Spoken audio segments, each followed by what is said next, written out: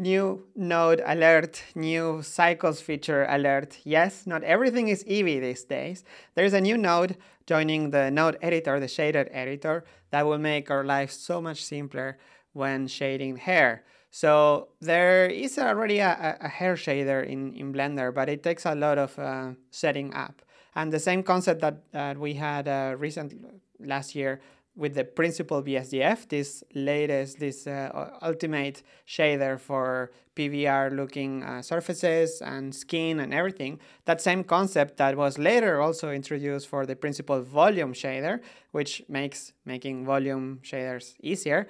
Now it's applied applied to the hair. So there's a principled hair BSDF that it's so much simpler and it just looks so cool. So Yes, it's a new node, and you will just find it like in the rest of like the, the list of the nodes. It's called Principled Hair BSDF, and it just looks amazing. Look, this, this looks like a render that will take ages, but it's actually 40 seconds here, and uh, it's uh, it not only looks good, but it's also very very fast. So what are the settings? It's very simple, just in the the nature of the principle, It's uh, you have a few settings. So the one that you're going to use the most usually is, is one of these three models, which is the melanin concentration.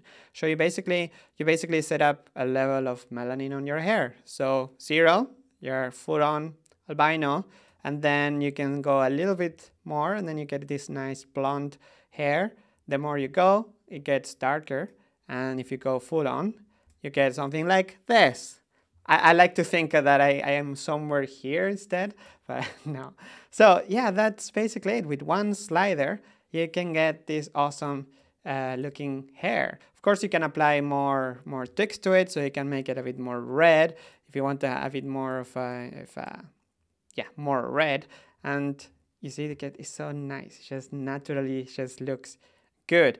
And uh, yeah, you can go nuts. And remember these sliders, the number that shows up here is the safe numbers, but you can you can always just like go nuts. So yeah, in, input the number manually, but don't do it unless you want to go crazy with the colors, which you can if you want.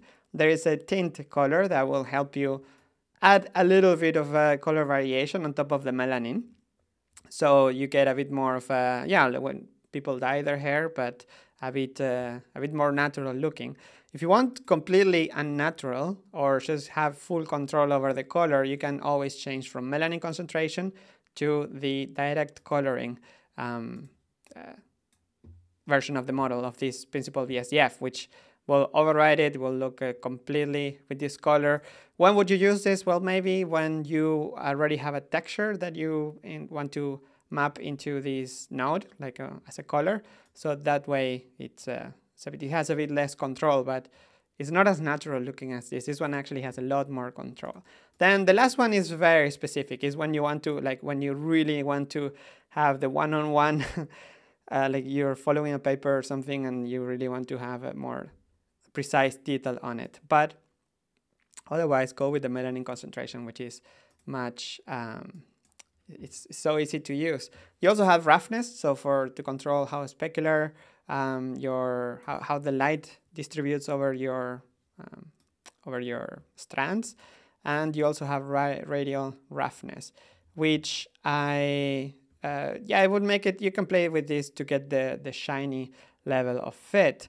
This is one of the few one of the great examples of how things should go. You get the feature and you get awesome um, documentation in the Blender manual in docs.blender.org. There is already documentation which you can follow just to see how each individual settings affect. So it's so, so nice. So the other settings coat, you will add like a layer of like specularity on top of it. So you can have like more like a grease or gel or wet hair, for example. You can control that. And then the other settings like index of refraction, unless you're trying to achieve like more of a different kind of uh, thick hair, like animal hair, for example, you can change those. But otherwise, the default settings are pretty um, okay. Like the offset. The offset, basically, I um, was asking uh, uh, hair scales. I was asking Brecht about it because it was added like just now. So basically the offset will change the um, the angle of it, of each scale, so to speak. But those settings you never change. Just, just go with these ones on top. And then you can also add a, a random color. This one, yeah, is pretty useful because it will add per strand an individual color difference on top of the melanin. So it will make it a bit more, um, um, yeah, more random. So it looks a bit more realistic. And you can also change the roughness, which is the same as this one, but uh, random per strand.